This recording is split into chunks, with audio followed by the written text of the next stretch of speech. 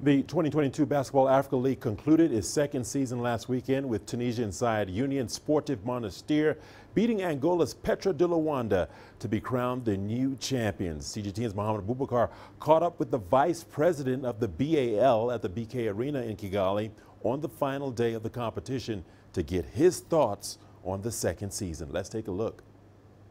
I'm happy to be joined by the Vice President of the Basketball Africa League, Mr. John Manyo-Plange. Uh, thank you so much, uh, John, for your time. Let's begin with your assessment of the just concluded second season of the Basketball Africa League. I think it was fantastic. I mean, when you look at where we started from last year, launching in the middle of a pandemic, this year being able to have fans, being able to play in three different world-class African cities, ending up here in Kigali, you know, opening night sold out, and now a huge finals and a new champion being crowned. What impact do you feel this competition has had so far, two seasons in now, uh, in improving uh, the game of basketball in the continent? So the whole purpose of the BAL isn't just for us to have uh, you know, commercially viable basketball property, but really to uplift the entire ecosystem.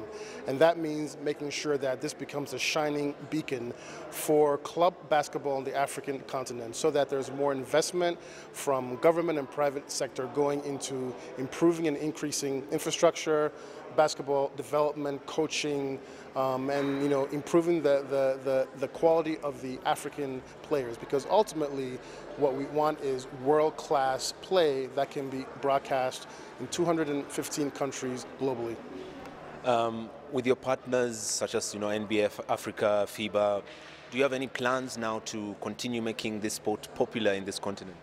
Definitely, the, the plans continue all the way from the grassroots level with our junior NBA programs, uh, Basketball Without Borders, Junior NBA Championships, NBA Academy, and now with the BAL sitting atop that ecosystem, the improvement, you know, is, is, is complete. There's actually a pathway for a player to come all the way through and be successful here on the African continent.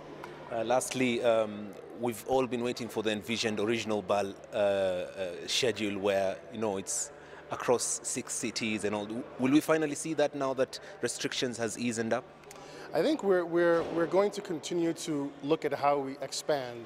It could be number of teams, it could be locations that we play in. You know, after every season, we really look hard at what has worked, what we think we need to tweak, and ultimately, you know, I think we're, we're going to get to that full-fledged schedule.